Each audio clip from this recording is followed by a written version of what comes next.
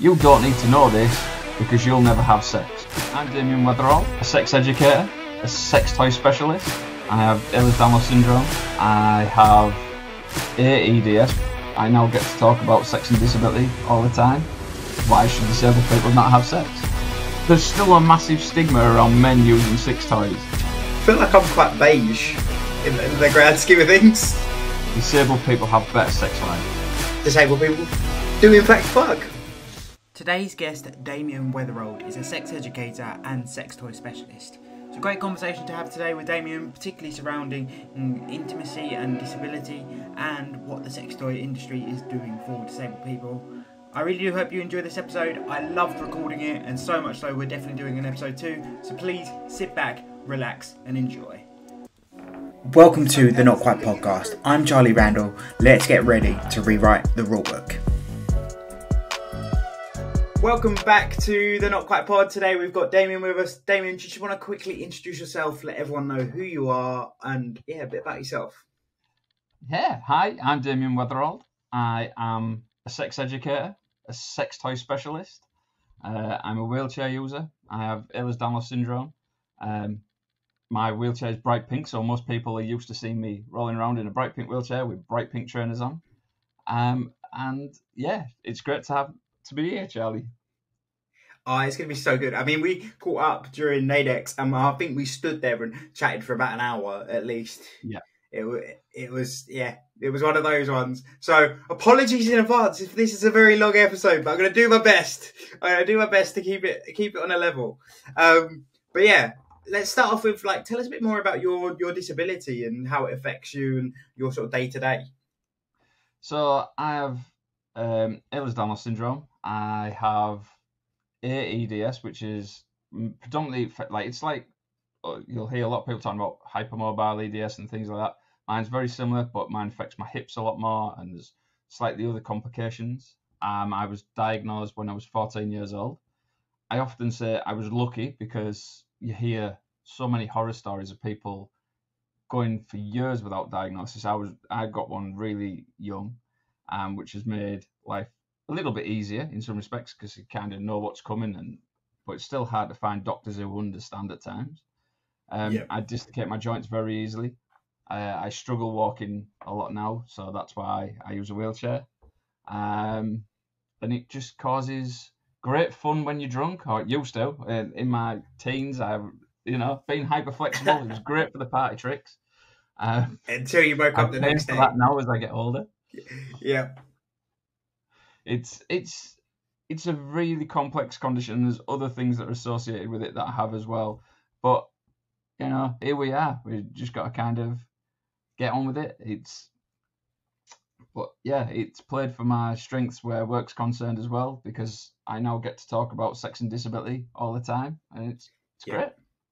I think that's the thing is like me and you are very similar. Of like, look, we we've been dealt this card, these cards, and we can either keep bitching and moaning about it, or we just get on and see what we can do to improve it for others and what we can do to just live as normal life as we can. And yeah, I think that's the thing that people expect because people expect you to be like, oh, woe is me, I'm going to be lock myself away and not go out and not do this, not do that. And while there are some people that are still coming to terms with their disability, things like that, a lot of us are very much like, look, we've just got to get on with it. There is no two ways about it. Yeah, like let's say I was diagnosed when I was 14, and I kind of, I don't think I honestly dealt with it at first. I just kind mm. of ignored it a little bit, tried to get on with life, caused me issues at school. Um, I got kicked out of school because of my disability. Um, what? so when I was 15, I was yep. the first thing they did when I, I started having problems dislocating my knee. I used to do a lot of cross country running and such, and I kept my knee kept sliding out. I kept ending in a heap. Knew something was wrong. Um, and eventually, when I was diagnosed with EDS, um, one of the first things they did was put me on crutches. Um, and one day at school, I slipped down a couple of stairs while the floor was wet after it had been raining or something. And the school were like, mm, "This isn't good. We don't want you on the premises." So I was asked to leave. Whoa. Um, and the only tutorage I could get was a primary school teacher that was supplied by the local authority, and that was doing my GCSEs. So I I was sat at home once a week. A primary school teacher would come and try and teach me stuff that she didn't know. Um, so that caused major issues. So I ended up having to do What extra time fuck? at college and uni. Yeah, it's mental. You wouldn't get away with it now. Like this is going back what like the? 20 years plus, but yeah. that's that's crazy. That is crazy. Like for the fact that they they were like, oh, you slipped over on crutches. We can't we can't have you here anymore. It's like You realise- their excuse, yeah, their excuse was that I couldn't go because I couldn't get to my classes. They weren't obviously there was a lot of stairs in the building, so they wouldn't let me just sit on my own because that was pointless. Um, so it was Yeah. kind of you're better off being at home, and they just didn't want me on the premises. Really, it was crazy. That's crazy. That is crazy. Because now you think about it, you think someone breaks their legs, they're on crutches. That that's quite a. it's got in in the grand scheme of things. Being on crutches is quite a mundane mobility aid. It's quite a usual Yeah. one. It's one people go, oh, I know what that is. It's not like you've walked in with like a height adjustable wheelchair that you're like, yeah, this is me now. Yeah, it's just that's mad. That is Um, crazy. and then There was other then to- people who had obviously been in the school on crutches, but because I'd had this slip, I'd probably I think I'd maybe damaged my shoulder or something at the same time. But it's like, hang on, you've you've cost me my last year of school basically, um, and it was it was a nightmare. But we again, you just deal with it how you Yeah. can. Um, Yeah. It was shit, but yeah, it's it's just mad. And then they supply a primary school teacher. yeah. Eh? Like what? I oh just oh okay. I'm surprised. Yeah, I would. I think I would have lost my patience at that point. it yeah and i kind of just rolled with it really. Um and then went through college university which was a struggle because I, I had a real blip with my health then. But i just kept rolling with it and rolling with it just as things went on. Um and i think it was more in my 20s when i started realizing i was having more issues than i could just keep batting away and stop hiding. Because i went through I went through three years of uni, and most people didn't know I had a disability because I hid it that well. Because I, Yeah, would- yeah, I had, I only used to wear supports and braces most of the time then, so I would have stuff hidden, um, and no one really knew what was going on, and it was, it was a good thing and a bad thing. I, I was kind of not ashamed of my disability, but it was hard to explain to people when they can't physically some see something. It's hard to explain yeah, yeah. what's going on.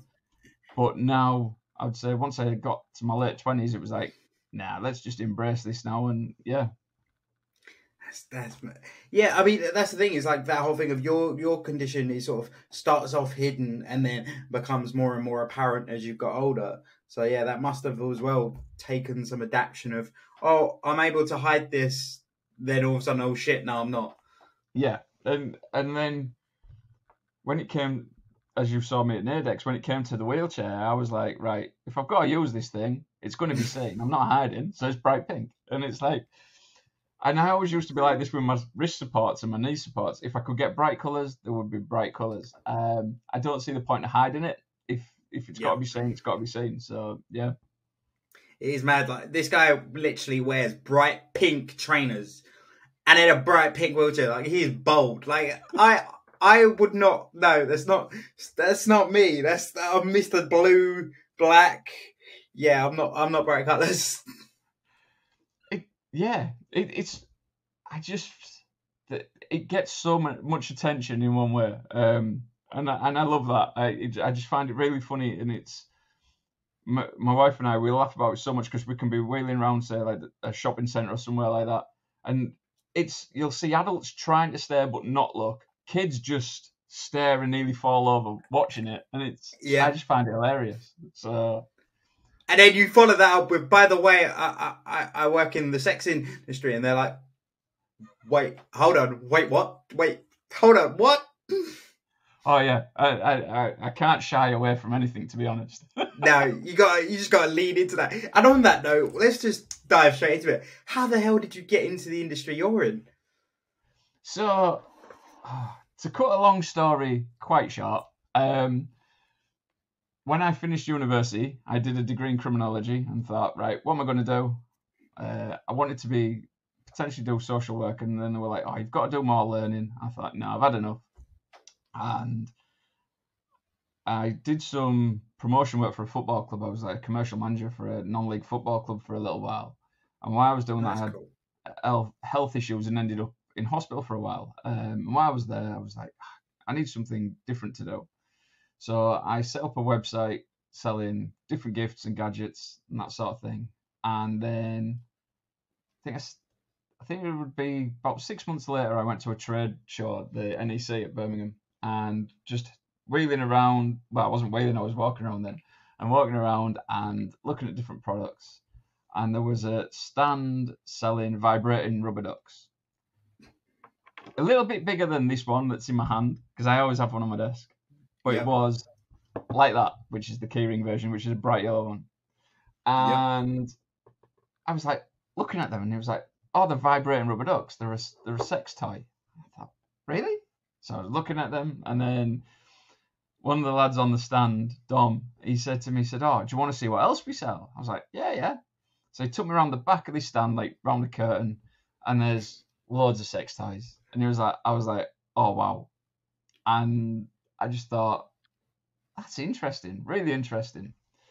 So Ali, my wife, and I came home and we were talking about it, and I was like, I'm going to sell them ducks. I'll just start with the ducks because I just thought I really like. I just thought they were a bit novelty, a bit daft, and then it just started from there. And it, I just, I soon closed the gift and gadget side and just started selling sex toys.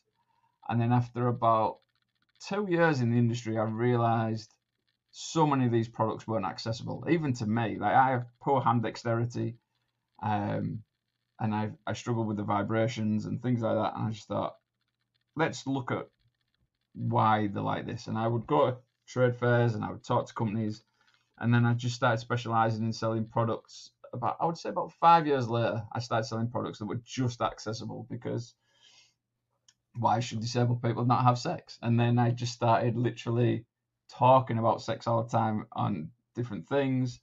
And COVID hit, and I decided I was so busy. It was ridiculous how busy I was over COVID, but I was getting bored at the same time. Suppose so- people didn't have anything else to do. They were like, nah, Yeah. fuck it. fuck it. And like there was orders going, but then a combination of COVID and Brexit caused problems with supply chains. Yeah, um, Um, and. I was like, oh, I can't get the stock I want. And then I thought, right, I need something else to do. And I started doing some work with charities and talking about sex and disability. And then I thought, right, I'm going to do sex education. I, I want to learn to be a sex educator. Um, and now that is, I predominantly do sex education on one side, and I then help sex toy companies make their products more accessible. I Yeah. work with some sex toy companies like trying to bring their brand to the more aim at the disabled market because it needs to be done. Um, and I closed my store because it's just I just didn't have the time to do it anymore. So I Yeah, yeah. love I spend so much time now just talking about sex. As you do. Yeah, like, but I know obviously you've worked with I, one of the the only real company in that in that space that I'm aware of is Hot Octopuss, and I know you've done some work with them, and it is it is like it's not something that I would have initially thought of. In yeah, thought of when I thought of accessibility of the next thing that needs to be changed, but then I suppose. I, Yeah. I, full disclosure, I've never really looked. No, and and I get I hear that all the time, um, and especially from men, because like there's still a massive stigma around men using sex toys, and I, I do so many like sex education classes with adults, um, because I I predominantly do stuff with adults. Don't want to go in schools and talk about this thing quite yet. I, I would love to do eventually go into SEN schools, but there's still so many adults that have had no sex education. My sex education was crap. I Mine bet yours terrible. was. Yeah, yep. and that's what I hear all the time. So, like looking at the accessibility of toys, like like you mentioned, Hot Octopuss, I I do work with them, and they are fantastic at what they do, and they're always looking at developing different things, and their products are very unique as well for penis owners because they can be used with a flaccid penis, which a lot of toys can't. Um, but yeah, I the stigma around men and sex toys is so huge. Can we also? I'm just gonna appreciate that you've just gone penis owners. Of all things you're to come out with, penis owners. That's a new one. That is a new one, and that's definitely tickled me. Yeah, because you know that we we live in a society now where people can identify as the one. That's So fair. I I always use penis owners because some penis. I like it. I, I just didn't see it coming. I didn't see it coming. Fair play. Anyway, Yeah. didn't mean to stop you. I just thought I've got to point this out that that's that's not something I would have come up with. No, and it it shows how society is changing as well. I, I oh, if I'd gone back two years, I would never have used that. I would have always said men. I would have always used the word Yeah, phrase yeah. men. But I think me educating myself and Yeah. um, dealing with a lot more sex educators, I've realised even some of my terminology would be wrong. So it just kind of you kind of change it. Um, and I don't want to just do it to be politically correct. I think we need to just again be a bit more open about how we have these discussions and but at the same time not get offended if someone does use the wrong word if i use man i Yeah, wouldn't well, yeah, want to offend yeah. anyone, anyone so Yeah.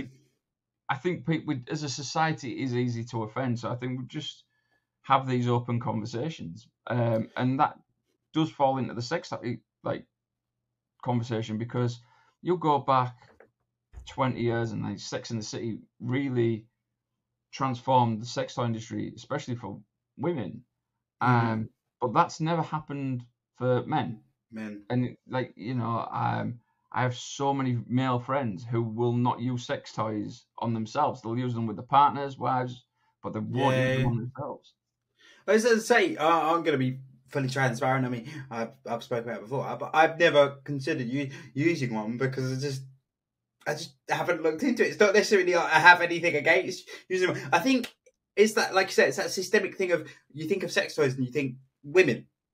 You Hmm. don't think, or yeah, you don't think, oh, okay, well, what is there for me? Like, I don't know. It's uh, maybe maybe it's just me. Maybe I am just being naive, but yeah, I think if you don't go looking for it, it's it's it's it's not something you see like like years ago. You would have like men's magazines like Zoo, Nuts, FHM. You would have probably seen if they'd still been on the go, you would have seen them in there.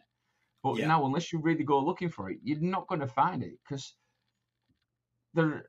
Ann Summers is predominantly aimed at the female market, so you're not going to go in there and potentially find some of them toys male for penis owners. But then you've got there is so many like ones out there that are quite like interesting and good. Like I said, there's the hot octopuss range, but then you've got products now that the technology side is so good that you've got toys that you can hook up to your porn, hook up to your VR headset. They'll work with your VR headset and interact. That's fucking mental. what the fuck? I, I no, I was going to say there is one somewhere on my unit, but it, Fucking literally it's you know what a fleshlight is, Yeah. right? So you put basically a version of a fleshlight into that, and it will interact with what you're watching, and it'll do up to 260 strokes a minute. That's bonkers. But it literally, when you you can have it so you can put the headset on, you put the porn on, and it will move to what you're seeing on the screen. That's that's actually crazy. that's that's mental. I didn't even. Wow. just have no words. Have absolutely no words. Just but it's one of them the products I just find. I think it's amazing. The technology amazing. You've got to live in a house, I would say, where you know you're not going to have anyone walk in. If you've got the headset on and the headphones, and you're there, and you know someone walks in the room, on. you're not going to know they're there. Just, just you can see, just see it, can't you? You just see it. Someone wandering in, completely oblivious. Yeah. Um, but the technology is changing sex toys so much because, like, you know, they're so interactive now with phones and themselves. You know, you can interact them across the across the globe. Basically, you can if your partner's halfway around the world, you can still use a toy on them if or control that toy that they're using. That that's great. I never even thought about that. Never even thought about like long long distance and using like uh, Wi-Fi connected toys. That's yeah. Never thought about that. And Nine so- months of- like some of these products are so accessible for disabled people because Yeah. obviously you don't have to worry about the buttons.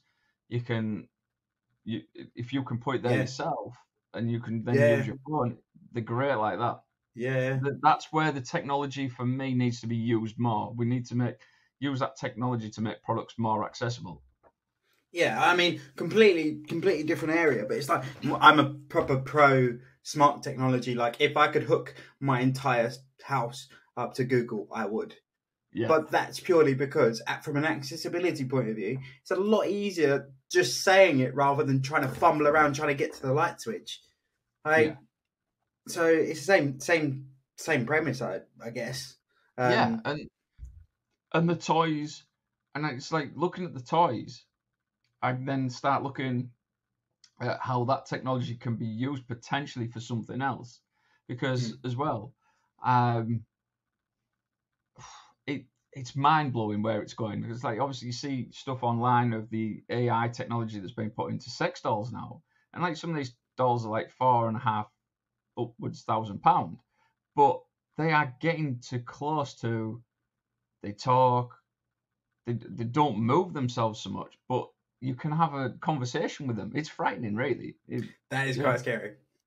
And that does that does worry me from a human perspective of going, are we just gonna get to a point where everyone's just like, nah, I'm not gonna have partners, I'm just gonna have just just just gonna crack on with the doll. you, see these like documentaries of people especially in america where they literally have a house full of like 20 sex dolls and like they put them in the car to take them out i've just i've just seen the story this morning of i can't think which place it is but there's somewhere where there's been a surge in people buying sex dolls to put in the car to avoid the congestion charges in that area because you can put like you've that you've got someone in the car with you so you can go into different lanes and avoid the co- the charges That's brilliant. That's fantastic. I, I I I approve of that. That is that is just that is just clever. That's just being clever.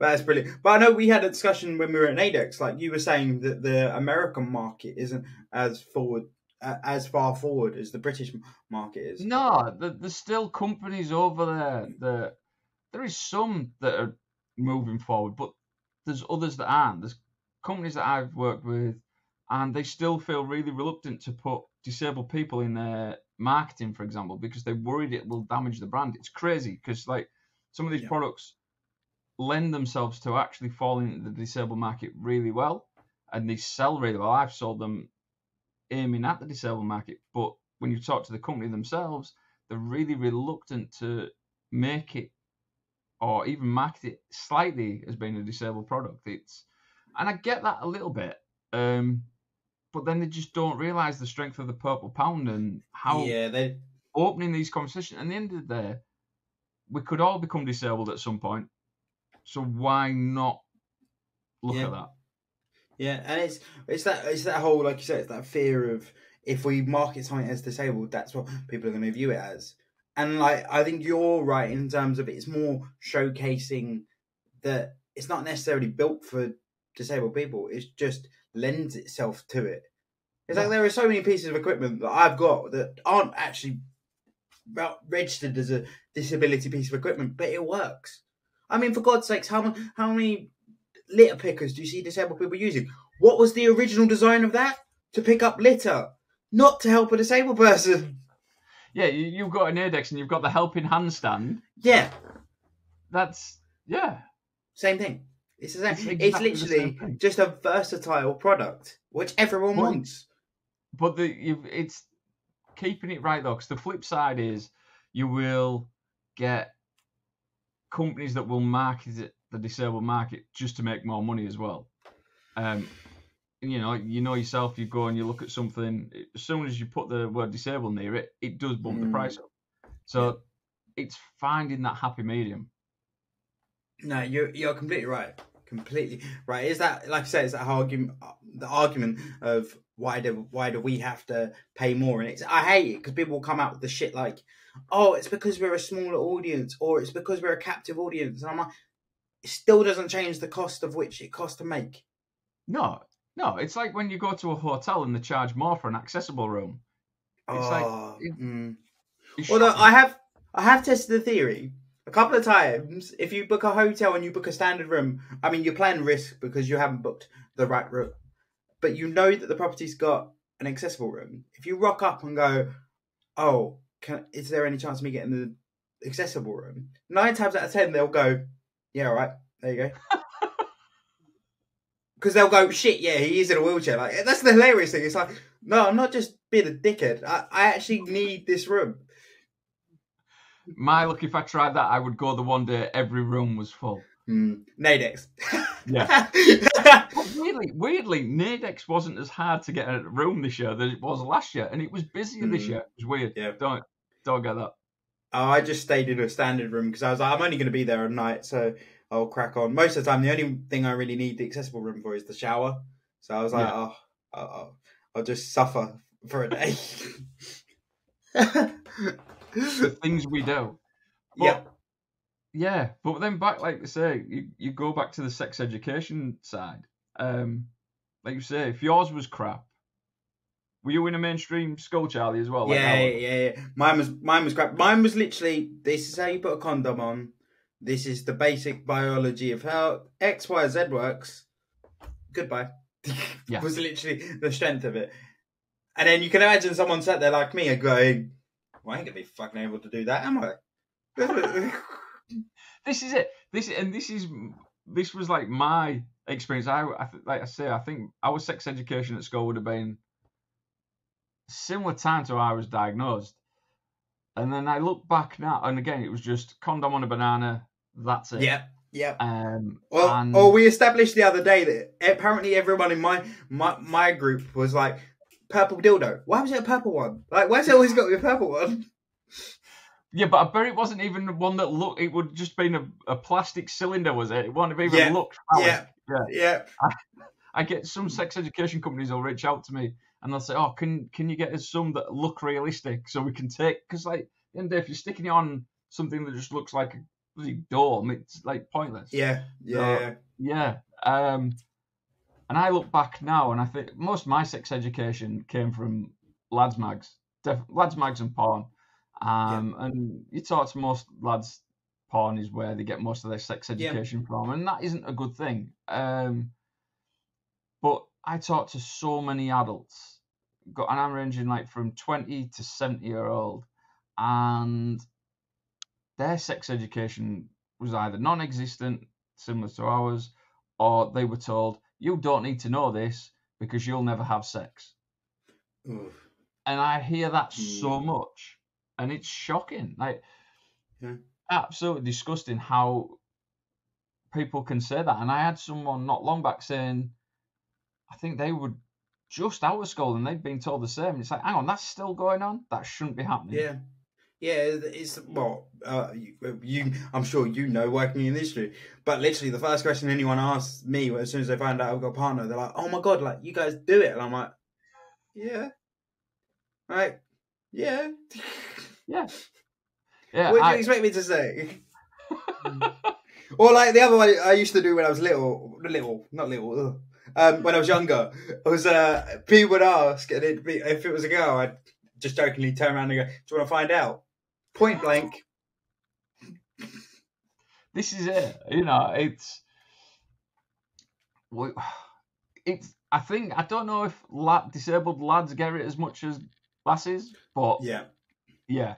Um, but I get it, and the one I always got once people knew what I did for a living, once they knew I sold sex toys, the first thing they would always ask my wife was, "Do you use them all? Have you tried them all?" And it's like, and like product first time testing. you get asked that, it's like, yeah, you know, yeah, of course I have. But then you just kind of think, again, really? It's like, Yeah. Yeah, You're like, all the questions you can ask me, right? That is Yep. the one you go to first. what is the okay? You you fed into this one. What is the weirdest question you've been asked? Um, I, I I've spoke about this recently, and it is, can I give myself a blowjob? What? Uh, I don't. I, I don't even have any words to follow that up with. Where did they learn biology? Well, because I'm so flexible. Yeah, Um, this is when you turn around to me and go, "I can," and I'm I can put my legs around. My, well, I, I've not done it for a long time. I, age maybe has got the better of that. But when I was like in my twenties, teens, twenties, I could easily put my legs around my head, and people would then just assume because I was like that, surely you can uh, give yourself a blowjob. and I got I've just been asked it quite a few times. Not for a while, but yeah, it used to come often. God, and I must admit as well. Some, I mean, as a sex educator, I'd imagine you get some weird and wonderful questions anyway. Yeah. Um.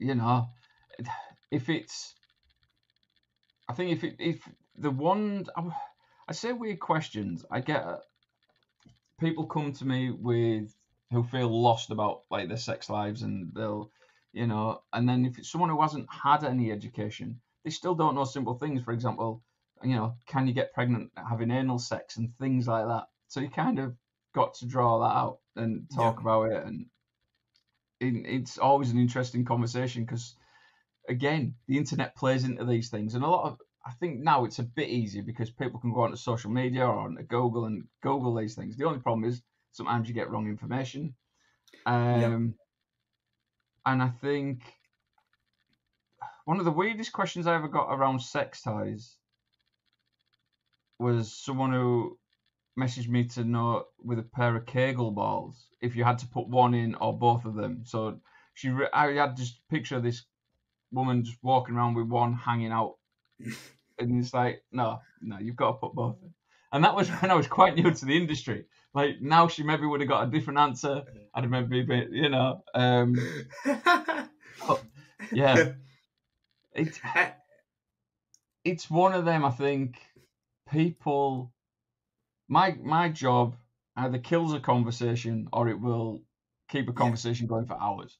Yeah, I mean, me, we we've already said us two, we could sit on here for hours just chatting about one our life experiences, but there are so many things I'm like, what a different route of work. Like most of us, like, oh, what do you work in? Marketing. What do you work? in? I work for the council. I want, I do this. I, I, I work in finance. You're like, nah, I sell sex, sex toys and educate disabled people on sex. It's like, oh, all right, okay, Th- yeah, that's definitely a little bit more interesting than. So this quarter we scored this. Yeah, when when I, yeah, and I look at my job, I love it. I absolutely adore it. There is some days where I think, I wonder what it would be like to have a normal job, like you say, something in finance, and then I just think, no, fucking chance. No. Doesn't involve any pink. Whereas at least with sex toys, I got a chance. Yeah, I, I I can't imagine me fitting into that environment, to be honest. Yeah, I think you, you'd you'd last about a week. You'd last about a week and be like, "Nah, nah, I can't do it. I can't. I can't." I'd either be so bored or I would say something that offended someone because I, I do struggle with having a filter because working in that industry, oh, you can't. the first time I ever went to a trade fair um, in the sex toy industry, and I, I walked through the doors, and there was literally wall to wall porn, like porn stars everywhere, then porn on the screens, got like women in cages. It was just like wow. And then from that day on, I just had no filter, and it's funny because people will ask me questions. And especially friends who are like similar age, and they'll message me and say, "Oh, do you know what this is? Like a term or whatever?" And I'll be like, "Yeah, of course I do." I'm Yeah. like, oh. And then they'll send me pictures thinking it'll like offend me. It'll be something like a porn clip they've seen on uh, Pornhub or something. And they'll be like, oh, this is shocking. Have you seen this? And you're like, yeah, Yeah. it's whatever. And it's like, I- Yeah. It's hard to have a filter now. As well, like people people are interested in. There's there's no limits to what people are into. So like you are just gonna get weird stuff. But I can imagine as well, not from what people are thinking, but like from a sensory perspective, going to a like sex toy porn trade fair. I, I don't- after about three hours, I don't know. I don't know. I don't know how I'd. Yeah, I don't know how I'd be. I think you kind of shut off to it, and like I I struggled shutting off. I was always be hyperactive anyway, and that and now discover going through like getting a ADHD diagnosis, and I realise why I'm like that now. But I would, I could go from one minute like kind of blanking it out, but then it's like oh, and I I just get drawn to something, you know, like a magpie gets drawn to something. It's like yeah, yeah, yeah. and I always and I love listening about people's different experiences, like talking about like kinks and fetishes, and and I think as long as it's nothing illegal, I love listening to what people are into because I just find it fascinating and each to their own. It's just amazing. I mean, obviously you can't name any names, but what's the what's the one that shocked you the most? I find I find the whole furry thing a little bit strange. I find it fascinating, but I do find it a little bit strange. Thing? So where people dress as um, animals, Ah, okay. so they wear yeah. costumes, so they'll like dress as cats yeah, and dogs Yeah, and things like that. yeah. Um, the adult baby thing, I I've never really completely got my head around either. Yeah, that is another weird one. Yeah, yeah. It does. Admit, talking to someone like you, you do sit there and go, feel like I'm quite beige in, in the grand scheme of things.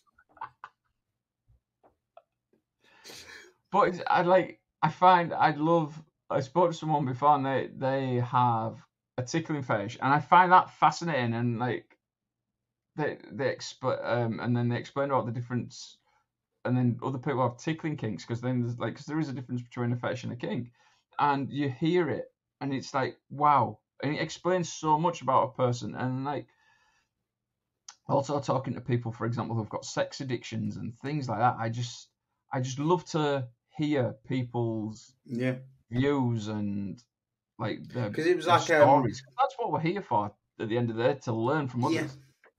and this is why I do this. Um, Yeah. it's like Terry Crews. Terry Crews had a porn addiction. I found that really interesting Yeah, because like not many people speak about it. No, um, and it is such a prevalent thing now. Um, it, I think there's a lot of people who will probably have porn addictions who maybe don't realize they have a porn addiction or will admit to it. But it's so easy to obtain now.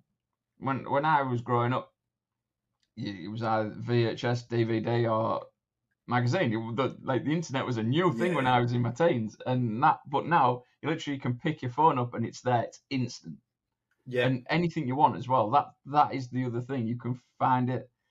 Um, I, the porn industry for me at the moment is it needs to be it needs to change. There's there's there's a lot of part. If it wasn't viewed by so many kids, it wouldn't be so bad. But the porn out there isn't good for teenagers to be watching and learning Yeah. from. That's the big problem.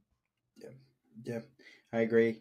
It doesn't do us any favors, really. No, and when you you're hearing stories now of kids as young as like eight, nine seeing it, you've got to worry what that effect that is. If they're seeing things like choking and and hitting and things like that in porn, which you know there, there is a massive problem, especially with the choking at the moment.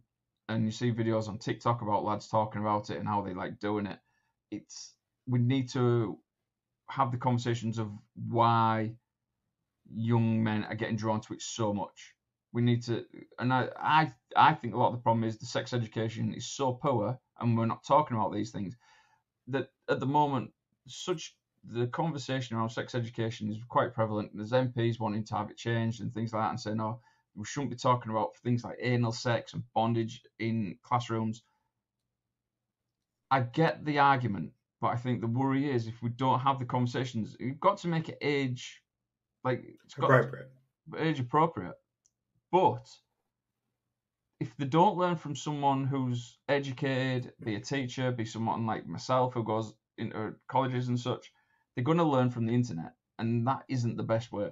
Yeah, I think as well by by limiting what we can educate, like someone like you. So let's say someone like you goes into a school or a college.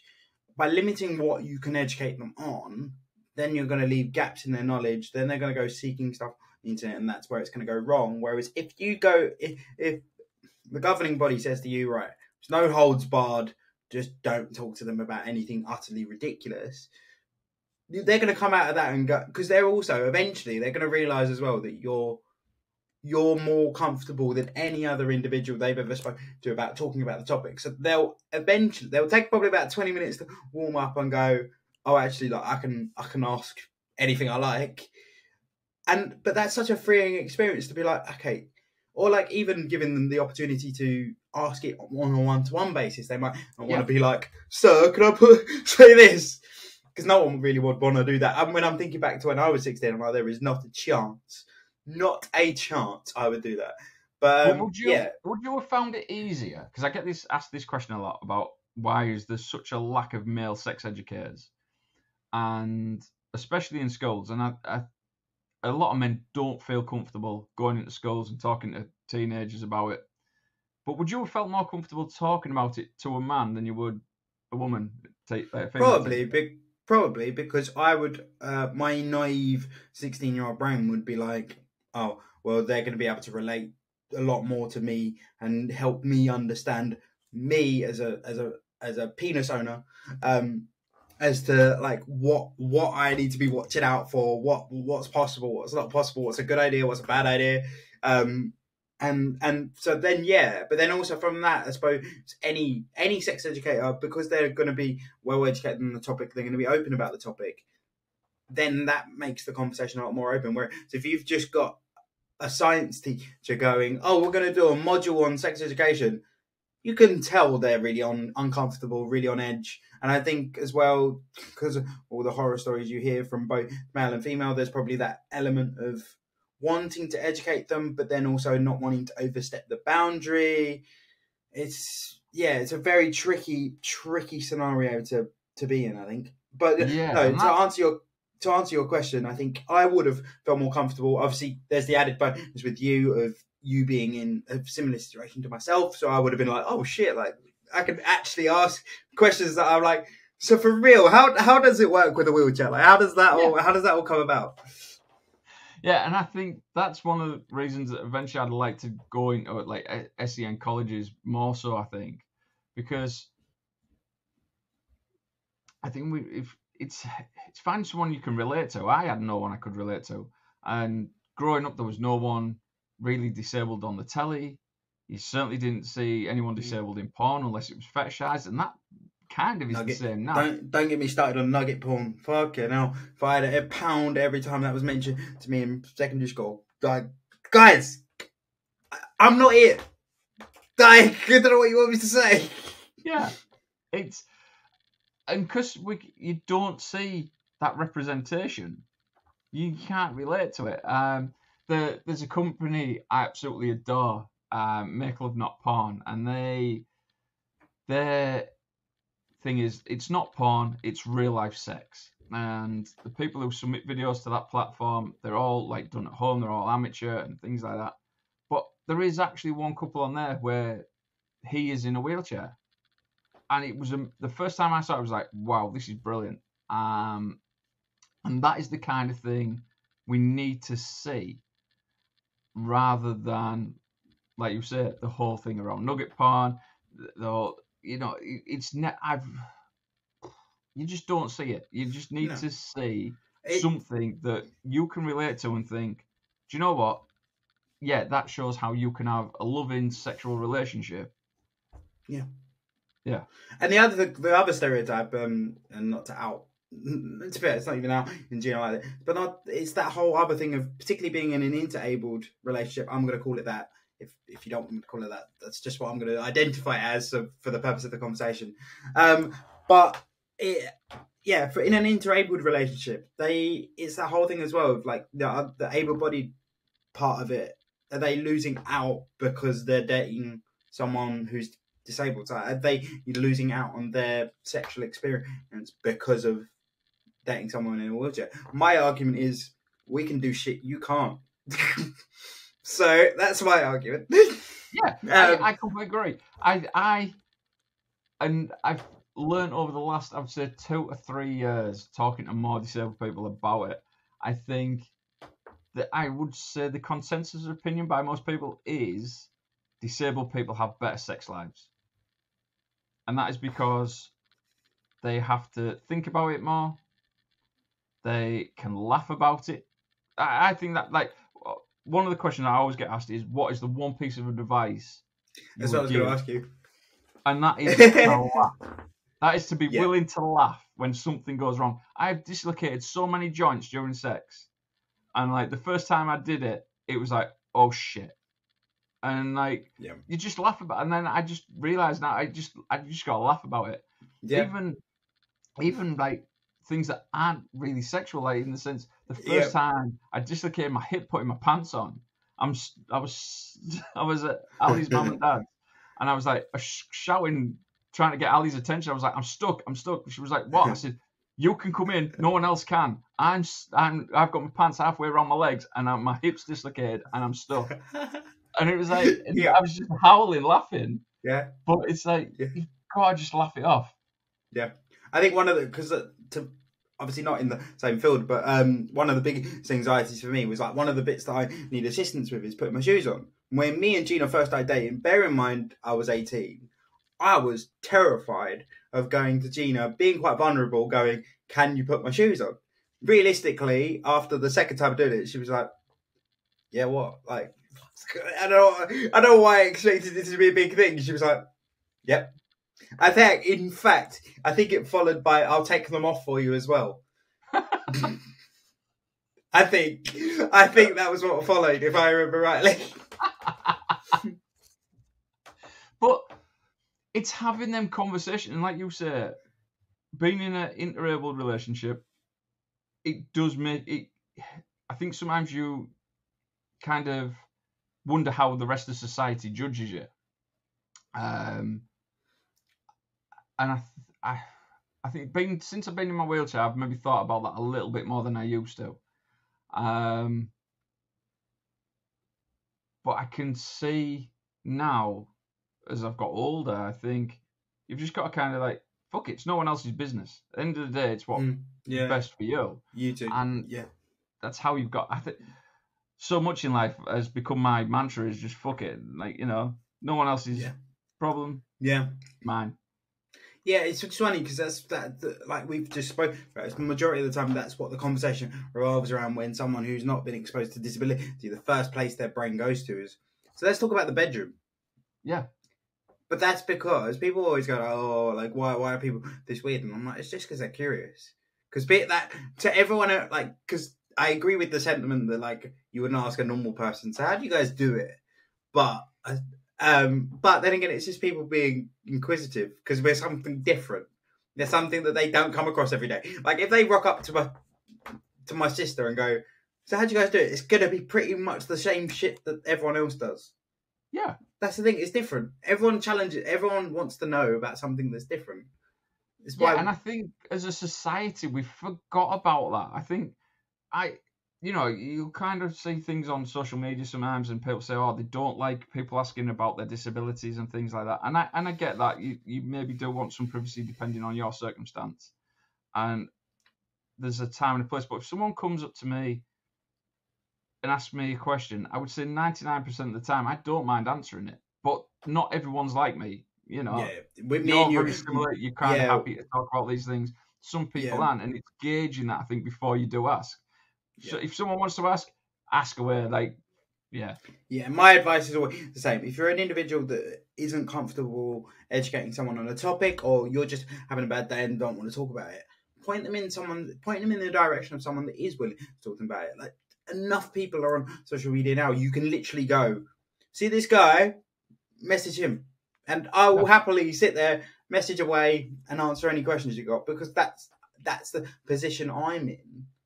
But it's that whole thing I think we spoke about, and it's one of the things I've often spoke about on this podcast of like my fear is if that you're if that individual, so someone who's quite aggressive with saying no, if that's their first introduction to disability, unfortunately, people are naive, and that's going to be the brush that rest of us are brushed with.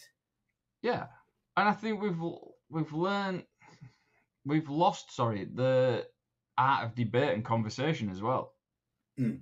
And that's as I said to you, like I'm going to launch my own podcast shortly. It will be out very soon, and uh, you know that. And this is one of the things I want to talk about is I'm I love to learn, like be like I say from other sex educators that do different things to me, or someone who's talking about like fetishes and things like that. I just want to learn. I love to learn and love to listen.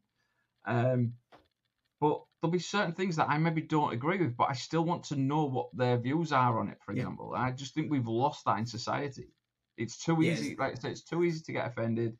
It's and I I've probably offended people not on purpose, just by asking something wrong, and I will always apologise if they are offended. But I just feel we just need to relax as a society, and like, Yeah. like you say, if I think I think it's agree like a lot of the time we need to lean into agree to disagree.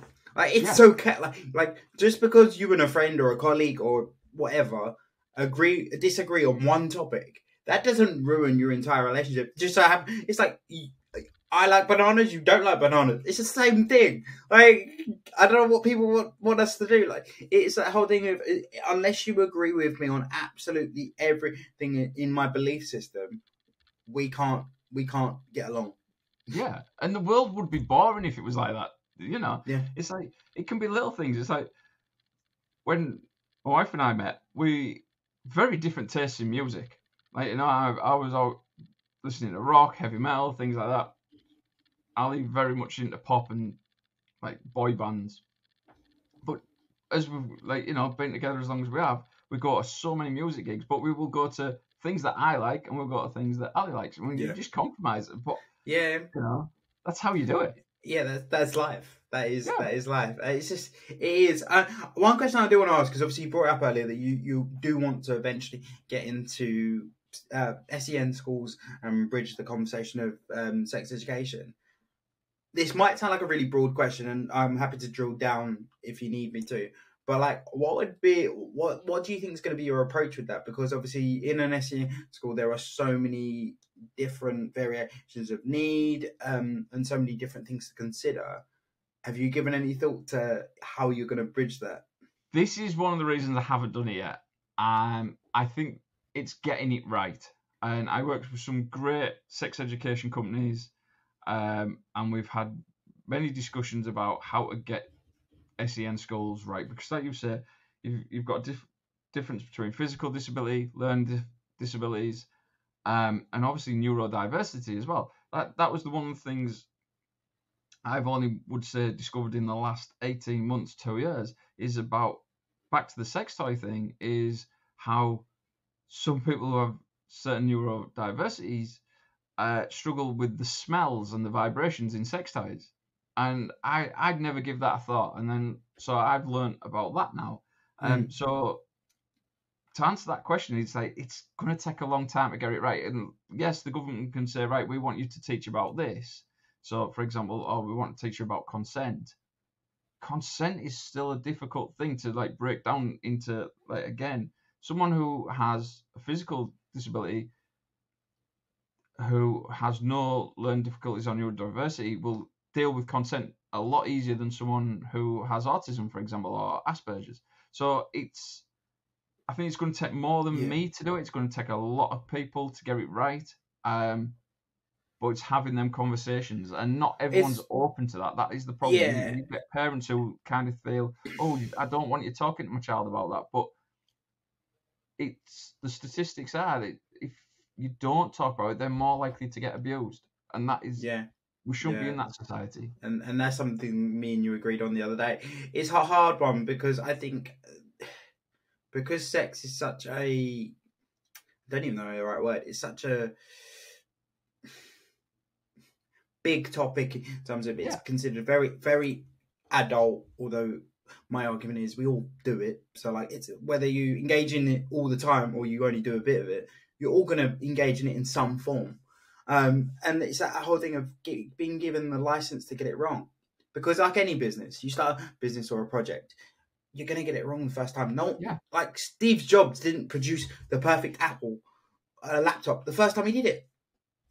Same goes for anything, anything like this. And I think that's the biggest hard thing in consultancy is like there's this expectation of if you're a consultant in a field, you you obviously you have got to be a certain level of an expert in the topic, but you can get shit wrong or you can go, do you know what? I've never thought about that before. Let me go and find out for you and I'll come back. Yeah, I, I sometimes get asked um, questions when I'm doing like sessions. Um, I I've run sessions in the past with one of the sex education companies, and we call them "What I Wish I'd Known," and we'll ask, and they're always aimed at adults, and quite often it'll be anywhere between 18 and 80 that age group that are there. If someone asks me something that I really don't know, I'll just say, "Look, give me a day, I'll go find out, and then I'll get back to you. Um, and I'll email that person because I would never want to give the wrong advice. And I know that many people in the industry, one way or another, that I know I can find out what I need to know if I don't know. And I, I don't profess. I know a lot, but I don't profess to know everything. Yeah. Um, and I think you're always going to be learning because there's always new things now, especially around gender identity and things like that. It's always it's it's evolving all the time. So I think you've always got to. And again, looking at my age, I think it's looking at how even wording. Someone will send like a friend of mine who is I think the daughter's 14, 15, and he'll send me things and say, "Oh, do you know what this means?" Because he doesn't know, and he's heard like the daughter talk about it, so he'll ask me, and it's like, uh, I think it's this, and then the whole thing of emojis, it'll throw me again, and it's like, so I'm always learning. So again, Yeah. this is where we've got to bring it into the context of going into S, going into SEN schools and colleges. Is you've got to be up on this because you don't know still what they know, like what they've already taught themselves.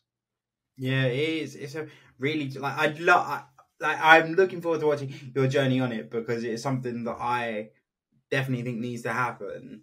Because as you say, the the the, the percentages are because they receive less education on that topic.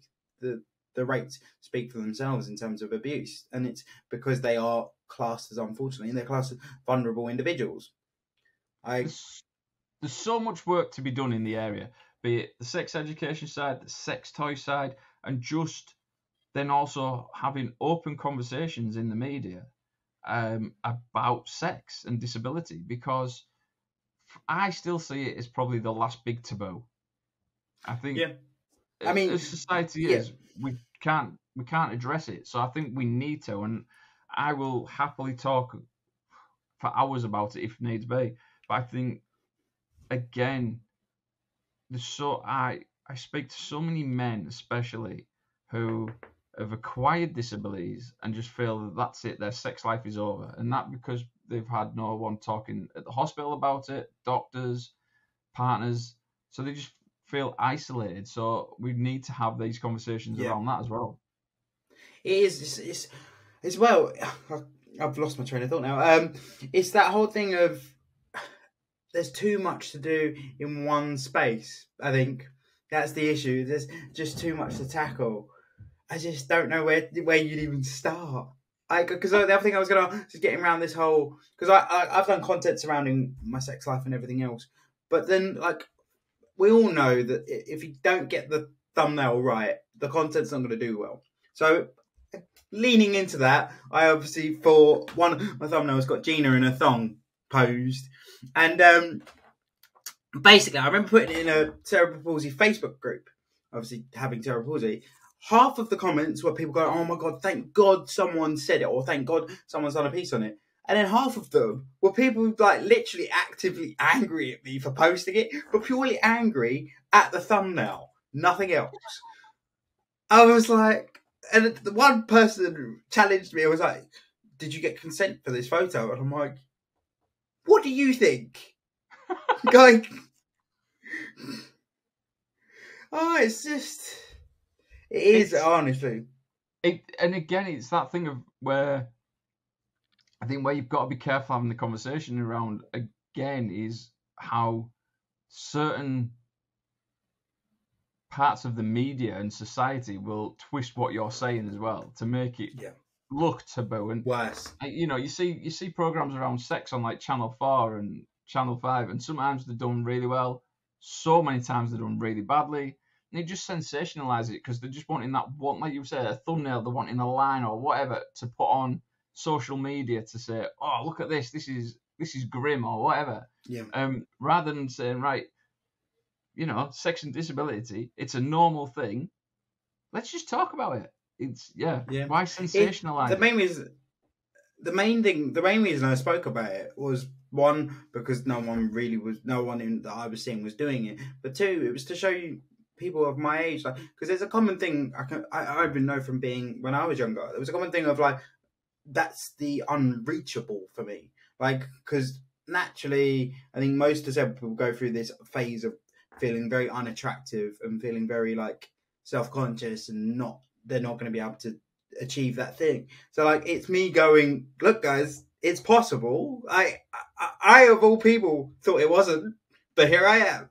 Um but yeah, so that's that was the main reason I did it was to show to, to particularly as you say, particularly in the male side of things, to show I was talking about this on another podcast, and obviously there's a lot of conversation surrounding masculinity, but I think it links in so much with um, sex and everything else. Is that thing of like still being able to do that thing that's seen as overly masculine, and that's yeah. a that's that's a good and a bad thing. Like I'm not saying that that should be the way it's viewed in society, but it was showing that you can still be the male in the relationship, quote unquote, even if that's not really a thing. Let's be honest.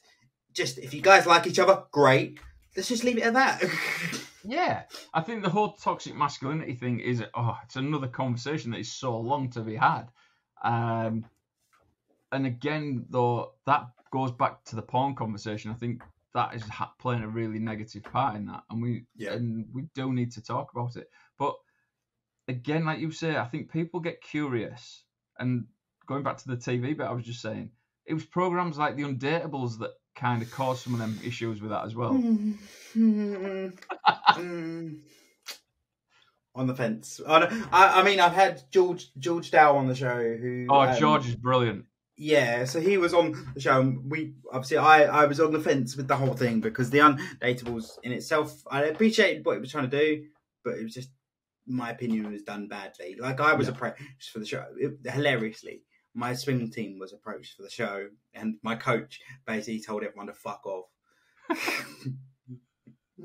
she was like, yeah, first of first of all, they're in the middle of training. Second of all, ill. I, I kind of got what they were trying to do with the program, but they just did it like you said. They did it in a bad way. Yeah. You talk to George about it, and he has quite a positive spin on it. Yeah, yeah, yeah. Um, I just, but, I just, there's something about it because it's, it's that whole, it's leaning into that we're different. That's yeah. that. I think that's the bit I don't like. It's not like the undateables. You didn't include anyone in that that was able-bodied. It was purely just if you were disabled, you were classed as undateable. Yeah, and that again, you know, it's it's that whole thing I have kind of in some of the lessons I do. You a lot of people assume that disabled people only date other disabled people as well. Mm, how many times have I been asked that? Oh, is your girlfriend disabled? No. She's a bit wacky at times, but no. yeah, like, I always love giving them the mental image of right. So let's say me and Gina have the exact same condition, yeah. So if I go, babe, I can't reach the jam, we ain't reaching the jam. That's it. There's, there's, no, there's no question about it. Yeah, that. I, I just love where people's minds go sometimes.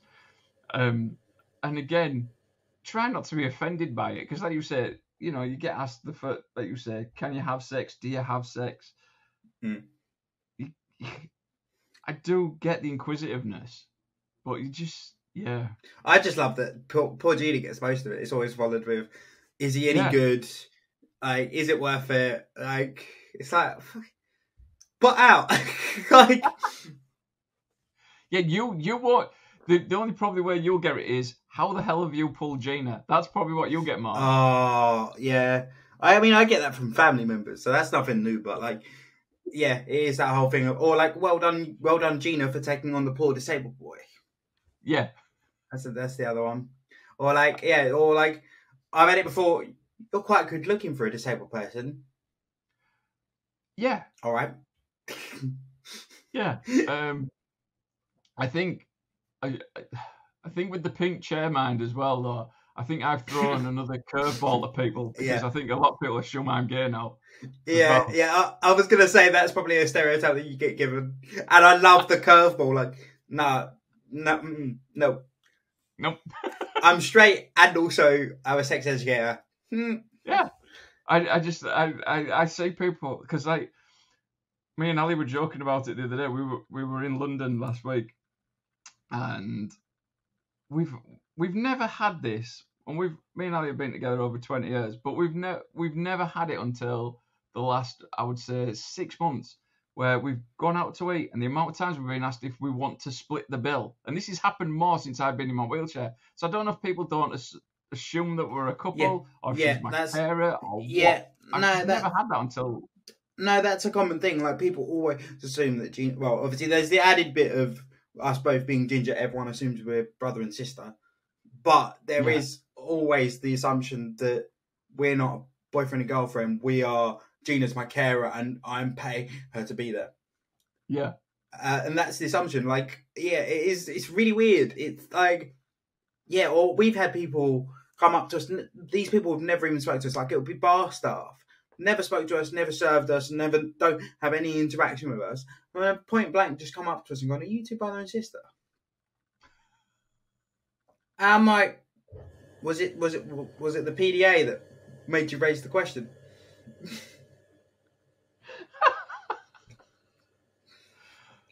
Yeah. That's I it's just it is it's just weird. It is just weird. Like people just assume that we can't have partners, yeah. or especially I think as well. It's, it's assumed that we can't have able-bodied partners. Yeah, and like the I, you see it more from uh, female disabled people, where they're talking about where the partners are often seen as heroes, but you don't really see it the other way around. So- Oh, Gina get Gina gets quite a lot. I guess there's a lot of that. Um, oh, well done you for pay, taking on the poor disabled person. I mean, as well, we we've had uh, someone um, someone say like, oh, it must be nice to come away on holiday with like people around you, so you get a bit of a break from looking after Charlie. And Gina's sat there like, uh, all I do is put your shoes on. I the rest of it he does. Or like as well, what's funny was we had to drive to the lo- okay. Well, basically we drove from uh, where I live in Kent down to Cornwall. Yeah. And so like uh, people we would go, so like, how did you get down here? I expected Gina to go, oh, I drove or whatever, and, and I'm like, no, I, I, I drove. So like, Yeah. What? Wait, huh? Huh? What? What? I thought you were a vegetable. Uh, I, it's just like, oh, it's just ridiculous. But like I say, it's that whole thing of well, that's why we do what we do in terms of I'm trying to promote being young and disabled and living a normal life, and you're trying to show that disabled people do in fact fuck. yeah, so exactly. there you go. that's definitely go. That's definitely a social media clip right there. That is definitely a social media clip, is that Charlie? That's class. But I think, yeah, it's the whole thing. Like again, but like you using the word vegetable. I love. See, I love having a joke with my mates, and we'll use language we maybe shouldn't do. Yeah. Um, but again, that is another thing people get offended very easily about, isn't it? Yep. Yeah. I think as well. And It's I like it's these words I hate. yeah. Absolutely detest people Yeah. using. There's um, con- and it's there- manner. But There's context to it. Like there's context to it. Like I we're using that phrase. I never recommend it. I never never use it. It's purely for the comedic effect. Was the only reason I used it there. Um, but like it is that whole thing of there are certain. It's all about context to it, but also it's all about the individual that's using it. Like in this scenario, we've both got a bit of a license to use it because we've both experienced it. Like it's not you're not coming into this blind. Like it's that whole thing of when people try and join in, and you're like, do you even know someone in a wheelchair, or do you even know someone that's differently abled? No. So. And I think what like one of my friends, my close my one of my close friends, he he will quite often call me his special little friend. And like he he like yeah, we've grown up, we've known each other like since we were toddlers. Yeah. And, he, and we so he's been through with it through me, like, you know, seeing me getting worse. And I I just find it hilarious, but I know people who get offended if they hear him say that. yeah. It is, it is like I mean my, my group of friends I always joke because my group of friends one of the most diverse group of friends. You've got me, ginger, disabled. You've got my friend who's Nigerian descent, got sickle cell anemia. You've got I've got someone who's asexual Filipino, Uh, it's but but with proper like alpha energy. Like she is the strangest thing. So like the thing is with this friend, she will like she so she has no interest in having a partner or having any like relation to another individual, but she feeds on your your stories. She will ask for every detail, no holds barred. I want to know everything you've got. And it's like, what the, what the hell? but I there you think we go. all have a friend getting to that point, like that wants to know everything. Yeah, literally, she's just like to tell me all about it, and I'm like, serious, like, guys. the worst thing is we lean into it now because she's friend, she's really good friends with both me and Gina. So now we just we just give her exactly what she wants, and just watch the like amazement and shock that we just committed and gone. Do you know what? I'm not even gonna flinch. I'm just gonna tell you. But do, do you find though with some like if you're not bothered about talking, you've got no filter, and you're like me, it just it gets to a point where they either keep asking and asking and asking, and then they get bored, or you, they'll get to a point and it's like, oh, I, I can't I can't make them feel Yeah. awkward, or I- yeah, yeah, I can't match this. I've got to just. It is, but then uh, the thing is, like with me, I, I'm very similar to you. Of like, look, if you got a question, I'll answer it because at the end of the day, we're human. So, like, realistically, if you want to ask something about my sex life, I'm not going to tell you anything that's groundbreaking. You're not going to be like, whoa, like. If it was, I wouldn't be doing the job I'm doing. Let's be honest. no. you you would be that one porn star that is making a breakthrough. Yeah, yeah. I'd, I'd, I'd be holding the flag for everyone. Oh man. Um. Also, but I have noticed that we. I'm just conscious of time, and we we were we, we were conscious of that before this episode went out. Yeah. So uh, I'm going to hit you with the last question, which is, what's one piece of politically correctness that you really strongly agree with or disagree with? Remember, it doesn't have to be disability related. I mean, anything. I think like I think the thing I don't know if it's politically correct. The one that annoys me is people talking at concerts. Like you know, I it would be politically correct to just let people Yeah. do what they want, but thick, you know, don't pay money for a ticket and sit there talk, talking about what you've done at work when there's a decent band on. No, Yeah, I think because you mentioned it before we started recording, and I think as we both said, if you're like pointing something out about the performance, like I don't know, a guitar picks gone AWOL, someone's throwing their drums, like it's if that's if it's anything related to the performance, I think that's acceptable. It's if Yeah. you're so I was thinking for dinner, um, yeah, just no, just don't. Have that conversation before or after the band comes on. While the band's on, sing as much as you want. Have a conversation about the shopping. No. what I'm going to do is I'm going to come to a gig with you and just interrogate you about all the different sex questions I have and just watch. That's fine. As long as it's someone crap, that's fine. Should I ask what your definition of crap is? Oh. That, that is hard because I have a very eclectic taste in music. I will listen to a lot of things. I think we're going to the opera. Yeah, that is my my one thing. I'm like I can't do classical. I can do rap, country, uh, 70s dance. I can do rock. Oh, actually, no. To be fair, I can't screamo. I can't. I can't like light screamo. I can get on board with. Heavy screamo is just. It's just why? Why? Why? I don't need Yeah, that. why? don't I, I, yeah, I'm like that. Um, classical, I like classical music if I'm really just want to chill out with a book or something I can kind of get on board with. But Yep. opera, I just don't see the point of singing a bloody in foreign language that I don't understand. No. Yeah, yeah, I'm, I'm I'm there with that. Like the thing is, I feel like with like standard songs sung in another language, you can sort of get the gist. Whereas with opera, I'm like, pfft, one minute it, it sounds like she's he's singing about how much he loves her, when realistically he's trying to commit, he's trying to kill her. yeah. So like, it's just, I But I think yeah, I'm, well, I'm on board with that. I think the other, the only other thing that I would say, I think we've got to be careful with the political correctness thing as well, is this cancel culture that we're going through at the moment. Yeah, yeah, Like that a- relates very much to music because you hear bands now like a song from like the 80s has got changed because it doesn't fit in today's society. And I think we've got to be very careful doing that. Yeah, I mean, it's a big, a big fear mine. Particularly, my whole brand is built on being not quite politically correct. So oftentimes I'll say shit, and I'm like, oh fuck, I shouldn't have said that. Um, but then again, I do, I do have the disclaimer of being like, my name literally says it. I don't know, I don't know what you want. yeah, I think that, and I love that. I, I just think that sits so well with you. Um, and I think we've just got to be, end of the day, just open to having, like I say, conversations just Yeah. like this.